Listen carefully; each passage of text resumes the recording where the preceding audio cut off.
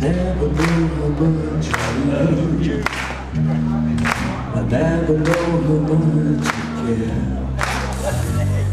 But when you put your arms around me, I a fever that's.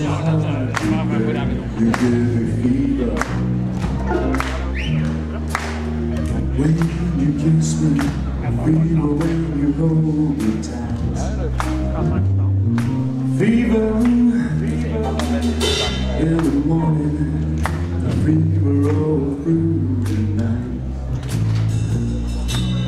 Sun lights up the daytime, the moon lights up the night. My love, when you call me, and don't you know I'm gonna treat you right, you give me fever. When you kiss me, fever when you hold me tight. Fever, fever, in the morning, the fever Now you've listened to the story. Here's the point that I have made. Against we're born to give Jake's fever. Be fair and how to set you great. You're giving me fever. Ladies and gentlemen, it's Jerry on bass.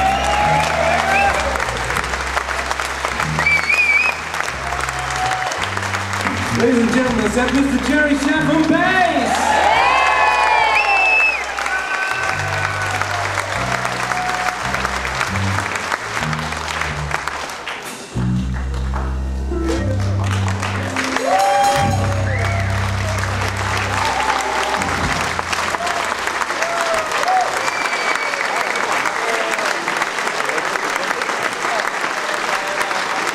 Not bad, huh? Not bad, huh? anyway, so far everybody's happy? Good, I'm glad to hear that. Well, I was going to give a little more experience, a little about my life with Elvis and everything. So, after we got out of the Army, what'd you say? you wouldn't know, you were never in the Army. Anyway, uh, Anyway, out of the army, I went to work for Elvis, you know, before he left the service, he asked me to go to work for him.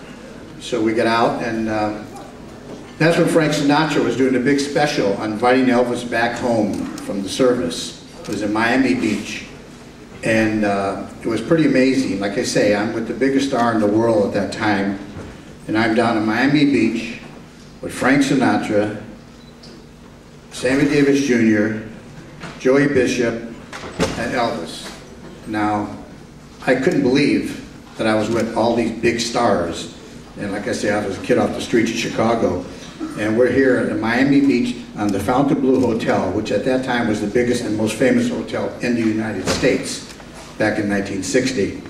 And it was just amazing to be around all these people. And, and as you know, if I'm sure so many people did see the TV special, but uh, it was so great. Elvis was just looked fabulous, and he was so thrilled to do this, and him and Frank sang a duet together.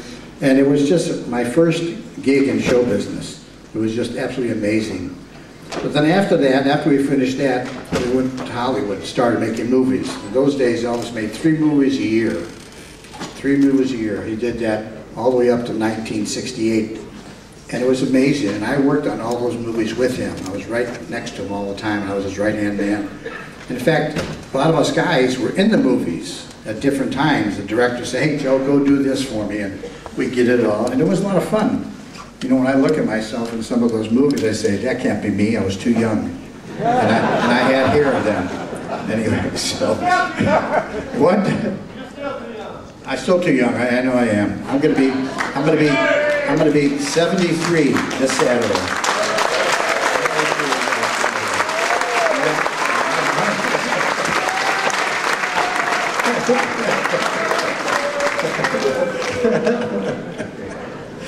I don't know who he is. Anyway. uh,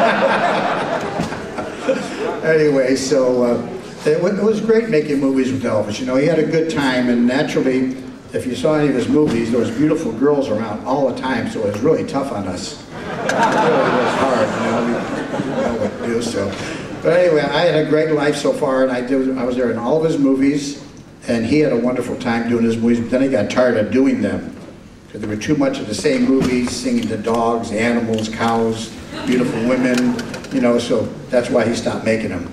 So I give you to this point right now, and I'll be back later on, talk about some more things. Let's continue this beautiful show, okay?